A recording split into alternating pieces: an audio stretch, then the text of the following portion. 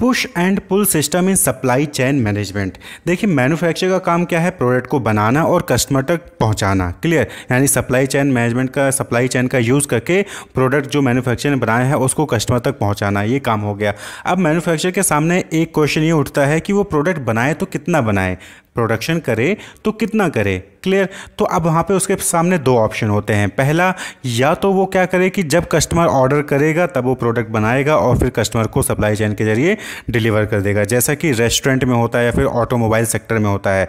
Restaurant में आप खाना खाने जाते हैं तो आप लंच करने डिनर जा रहे हैं तो वहाँ पर आप जब पहुँचते हैं ऑर्डर देते हैं ऑर्डर देने के बाद फिर आपके अकॉर्डिंग जो प्रोडक्ट बन के आता है और फिर आपको डिलीवर हो जाता है। या फिर ऑटोमोबाइल का एग्ज़ाम्पल लें तो जब आप फोर व्हीलर कार परचेज करने जा रहे हैं तो वहाँ पर जब आप बुकिंग करते हो, उसके बाद फिर जो है वहाँ पर कार बनती है और फिर जो है आपको डिलीवर हो जाती है।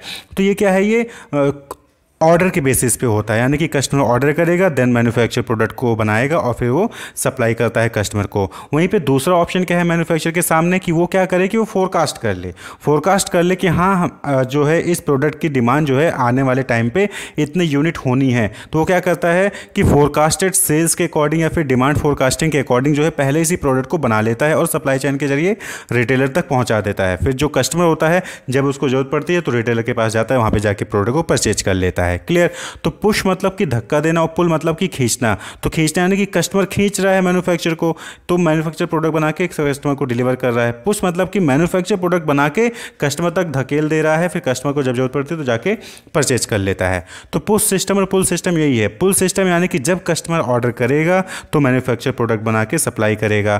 That is pull system push system में मैन्युफैक्चर फोरकास्ट कर लेता है पहले से ही कि हाँ आने वाले टाइम पे इतनी सेल होनी है तो मैन्युफैक्चर उसके अकॉर्डिंग प्रोडक्ट को बनाकर बनाकर रिटेलर तक पहुँचा देता है। जैसे कि आप फेस्टिवल्स में देखते होंगे तो फेस्टिवल्स में सभी को पता है कि होली है, दीपावली है तो उस टाइम पर जो है, जो पर्टिकुलर प्रोडक्ट होते हैं, होली में कलर्स हो गए, दीपावली में क्रैकर्स हो गए या फिर दिए हो गए तो इन सब की डिमांड बढ़ने वाले तो मैन्युफैक्चर क्या करता है कि डिमांड को फोरकास्ट कर लेता है और उसके अकॉर्डिंग जो है प्रोडक्ट बनाकर रिटेलर तक पहुँचा देता है। जितने भी एफ़ गुड्स होते हैं, अभी हमको हमको पता है कि एफएमसीजी गुड्स क्या है? फास्ट मूविंग कंज्यूमर गुड्स होते हैं। इनको जो है टाइम टू टाइम कस्टमर इनको परचेज ही करता रहता है। तो वो फोरकास्ट कर लेते हैं सेल्स को और उसके अकॉर्डिंग प्रोडक्ट बनाकर रिटेलर शॉप पे रख देते हैं। अब ये थोड़ी होता है कि आपको टूथपेस्ट लेना है तो आप जाओगे ऑर्डर करोगे, उसके बाद टूथपेस्ट बन के आएगा। नहीं तो टूथपेस्ट क्या है? रेगुलर रेगुलर यूज़ प्रोडक्ट है तो मैन्युफैक्चर पहले से ही फोरकास्ट करके उसको बनाकर कस्टमर तक रिटेलर तक पहुँचा देता है। फिर कस्टमर को जब ज़रूरत पड़ती है रिटेल शॉप पर जाता है परचेज कर लेता है। तो वो पुश सिस्टम हो गया क्लियर तो पुश सिस्टम पुल सिस्टम यही चीज़ है यहाँ पे। तो सबसे पहले पुल सिस्टम है तो पुल सिस्टम इन एस में यानी कि यहाँ पे क्या होगा कि कस्टमर ऑर्डर करेगा प्रोडक्ट पुल सिस्टम है कस्टमर खींच रहा है तो पुल कस्टमर जो है वो क्या करेगा? प्रोडक्ट को ऑर्डर करेगा। उसके बाद फिर रिटेलर जो है वो ऑटोमेटिकली रिप्लेस करेगा स्टॉक को। यानी कि रिटेलर क्या करेगा? स्टॉक में देखेगा कि है कि नहीं है, वहाँ पे जो है ऑर्डर को प्लेस कर देगा। फिर डिस्ट्रीब्यूटर ऑटोमेटिकली रिप्लेस करेगा warehouse of the manufacture यानी कि मैनुफैक्चर के वेयर हाउस में मांगेगा कि वो प्रोडक्ट है कि नहीं अगर होगा तो वहाँ से जो है कस्टमर को डिलीवर कर दिया जाएगा। अगर नहीं होगा तो मैनुफैक्चर क्या करेगा? वो प्रोड्यूस करेगा एज़ पर ऑर्डर यानी कि जो ऑर्डर आया है वो प्रोड्यूस करेगा मैन्युफैक्चर उसके अकॉर्डिंग और फिर उसके बाद जो है कस्टमर को डिलीवर किया जाता है। अब मैन्युफैक्चर प्रोड्यूस करेगा तो बट ऑब्वियस होता है कि वो सप्लायर से क्या करेगा? ऑर्डर लेगा सप्लाई रॉ मटेरियल जो है वो उसके लिए अप्लाई कर ऑर्डर देगा। तो supplier supply as per order यानी कि जो भी कस्टमर का ऑर्डर आया है, उसके अकॉर्डिंग मैन्युफैक्चर को रॉ मटेरियल सप्लायर सप्लाई करेगा, फिर मैन्युफैक्चर प्रोडक्ट को प्रोड्यूस करेगा, फिर डिस्ट्रीब्यूटर रिटेलर के ज़रिए कस्टमर तक पहुँचता है। तो ये होता है पुल सिस्टम तो यहाँ पर मेन फोकस कौन हो गया? कस्टमर हो गया। कि कस्टमर ऑर्डर करेगा तो बाकी सारी सारी सप्लाई चेन एक्टिवेट हो जाती है। तो पुल सिस्टम में क्या हो गया कि in a pull based supply chain procurement production and distribution are demand driven rather than based on prediction तो पुल सिस्टम में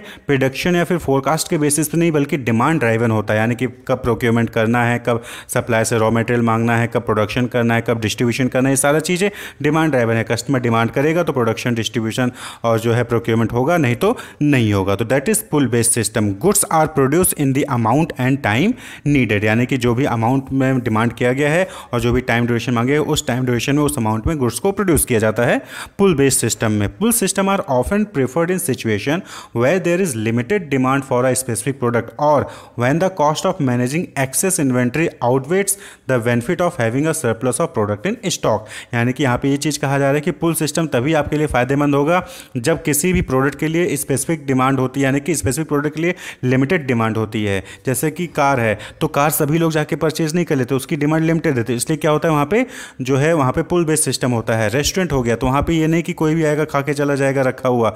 वहाँ पे जाएगा, उसको ताज़ा खाना चाहिए, वो ऑर्डर करेगा अपने हिसाब से, फिर उसको जो है, वहाँ पे मिलेगा। तो वो क्या है, वो पुल बेस्ड सिस्टम है। तो वहाँ पे क्या है कि स्पेसिफिक प्रोडक्ट की डिमांड की जाती है और लिमिटेड डिमांड होती है। इसीलिए क्या होता है, वहाँ पर पुल सिस्टम चलता है। तो जहाँ पर भी स्पेसिफिक प्रोडक्ट की डिमांड हो रही है लिमिटेड डिमांड है, और जहाँ पर इन्वेंट्री को स्टॉक करके रखना बहुत ही ज़्यादा कॉस्टली होगा आपके लिए वहाँ पर पुल बेस्ड सिस्टम चलता है और पुल बेस्ड सिस्टम क्या है, वो JIT के कॉन्सेप्ट पर डिपेंड करता है। क्लियर तो वहीं पे दूसरा है push system in supply chain management तो पुश सिस्टम क्लियर हो गया होगा। यहाँ पे क्या होता है कि मैन्युफैक्चर क्या करता है? फोरकास्ट करता है। फोरकास्ट करता है और उसके अकॉर्डिंग प्रोडक्ट बनाकर सप्लाई चेन के ज़रिए रिटेलर तक पहुँचा देता है।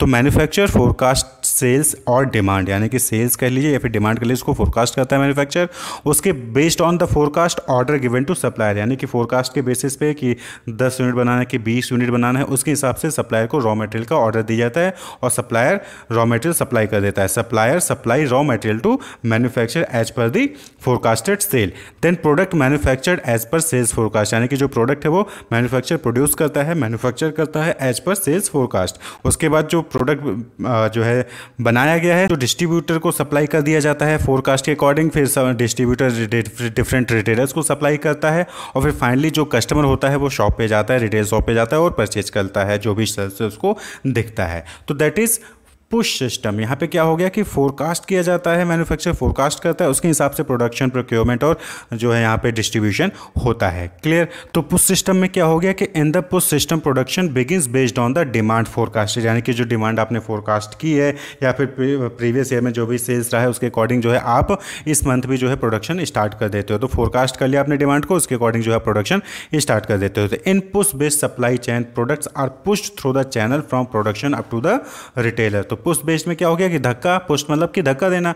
तो यहाँ पे क्या हो रहा है कि प्रोडक्शन कर लिया जाता है फोरकास्टेड के अकॉर्डिंग और फिर जो है जो रॉ मटेरियल जो सप्लाई होता है वो पूरा जो है प्रोडक्शन से रिटेलर तक पहुँचा दिया जाता है। This means that the production happens based on the demand forecast यहाँ पे प्रोडक्शन किसके बेसिस पे हो रहा है? जो भी आपने डिमांड फोरकास्ट किया है, उसके बेसिस पे हो रहा है।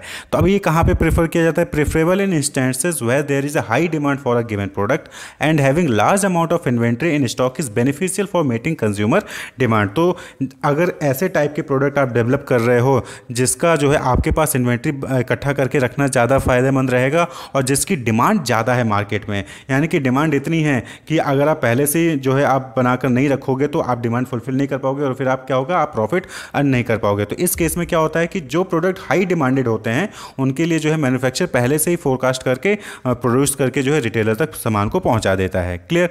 तो दैट इज़ पुश सिस्टम। तो पुल सिस्टम क्या हो गया? जहाँ पर कंज्यूमर डिमांड करता है, उसके बाद फिर प्रोडक्शन डिस्ट्रीब्यूशन और जो है प्रोक्योरमेंट जो है चलता है। वहीं पे पुश सिस्टम जहाँ पे फोरकास्ट कर लिया जाता है सेल्स को, और उसके बाद जो है, वहाँ पे प्रोक्योरमेंट और डिस्ट्रीब्यूशन और जो है प्रोडक्शन चलना स्टार्ट हो जाता है। क्लियर तो पुश सिस्टम में मैन्युफैक्चर प्रोडक्ट बनाकर रिटेलर तक पहुँचाता है। वहीं पर पुल सिस्टम में कस्टमर डिमांड करता है, उसके बाद फिर मैन्युफैक्चर जो है प्रोडक्ट को बनाएगा कस्टमर तक जो है सप्लाई चेन के ज़रिए पहुँचाता है। That is push system and pull system in supply chain management. Wish you all the best. Keep watching.